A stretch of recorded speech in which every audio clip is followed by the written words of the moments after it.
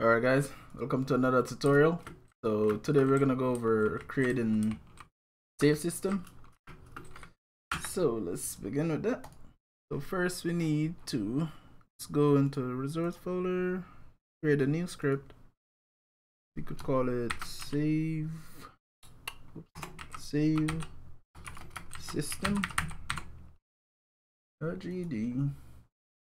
Let's open it up. Where is it?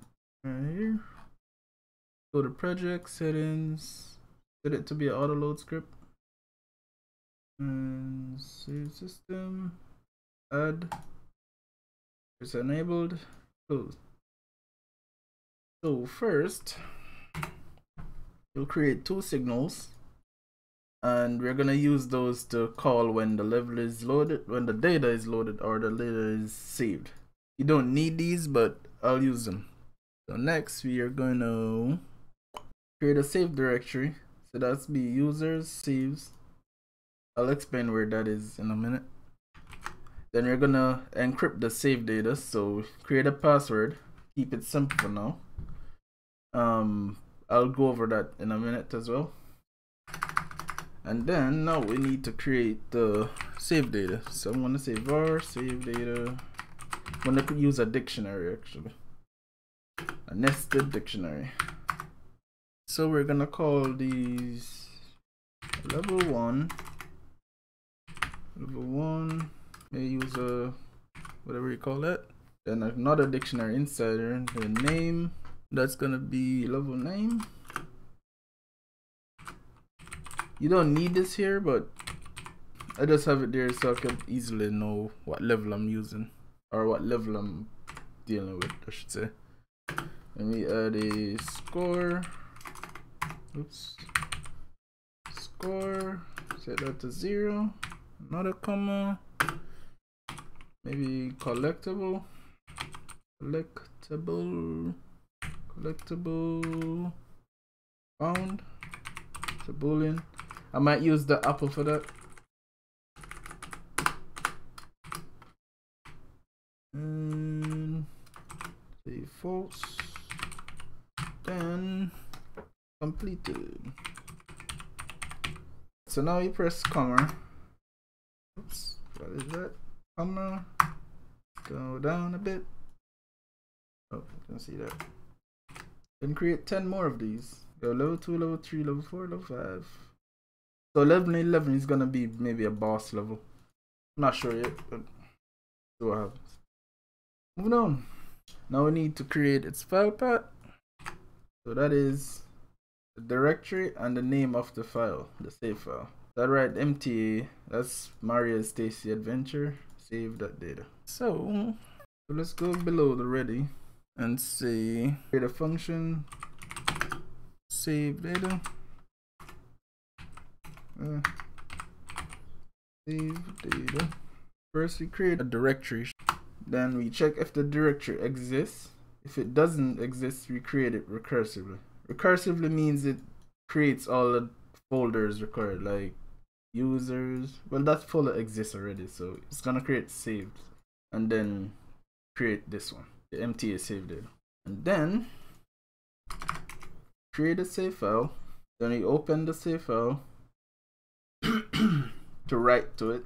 Then we store a variable, and that would be the save data that appeared and then you have to remember to always close the save file then we could emit the signal. Data saved. So can use that to like maybe change the UI or something. To show something on the screen you know what I mean? All right that's it for the saving. Delete that process don't need that.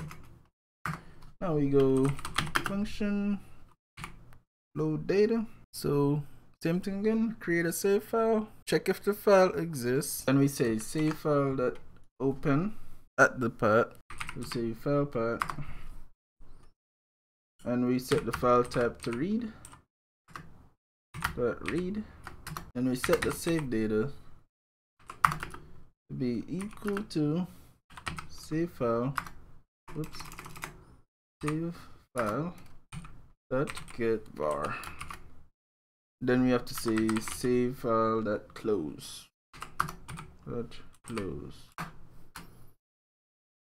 then we emit the signal. Emit signal, file loaded. Alright, that should be it.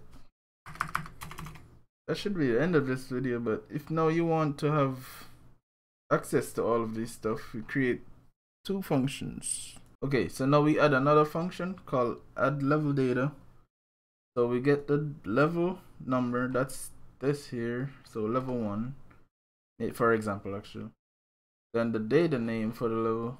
So if it's a name, we know not changing the name, but maybe the score, collectible, and then the um, value.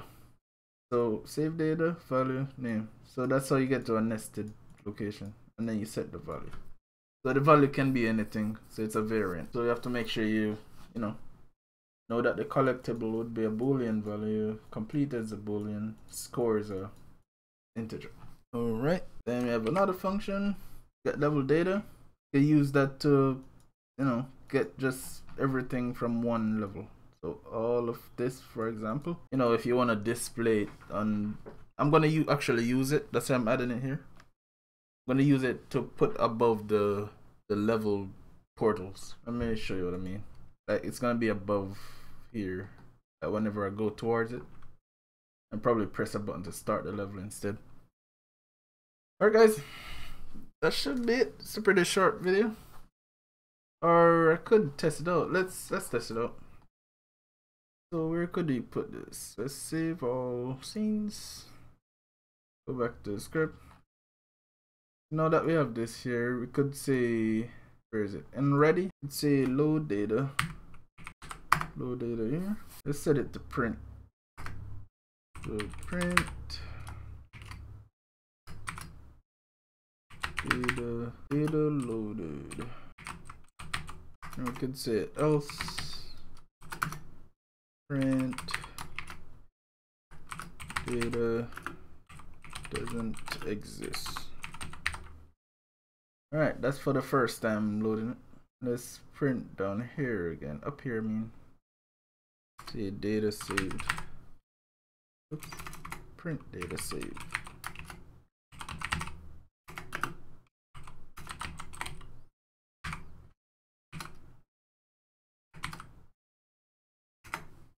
All right, save. So I had the cake open already for level one. So whenever we touch the cake, it should print it. So let's open the cake up. Go right here, print save system dot save data. Oh, another thing I want to do is maybe let's set one of the values. Let's say level one complete or something like that. What I should actually do though is maybe put this in the game manager instead. But nah, it's not necessary. Let me see what I have over here. Game manager. See current level. Variable current level. Okay, I'm gonna have that as um a test. Let's do that here. So save system dot add level data the level one data completed completed and then set it to true then we say save system dot save data I could add another one here too score score Oops, not there. Score. Uh, I know, 1028. Alright, now let's go here. Alright, let's grab that. So data doesn't exist. Read it on the bottom. So let's load that level up. Let's kill these guys. I need to work on that, but that's a different problem. Alright, let's go here. Did print data saved. Uh, should I send it back, right? Let's quit that. Now, we could maybe Just quit. Go here. Print the data. Okay, I think I do that. Okay, let's say print get level level data then say level one load it up. Here you go. Completed is equal to true.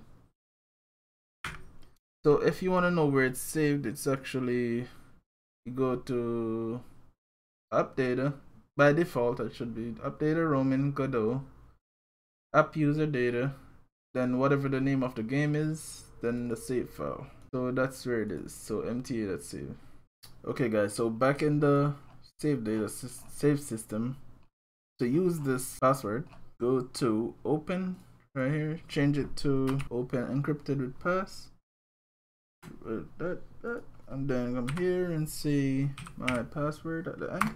Then down here in the load data open encrypted with pass my password and then make sure it's read this time. That should be it. All right guys. That's it for this video. Like subscribe 累了。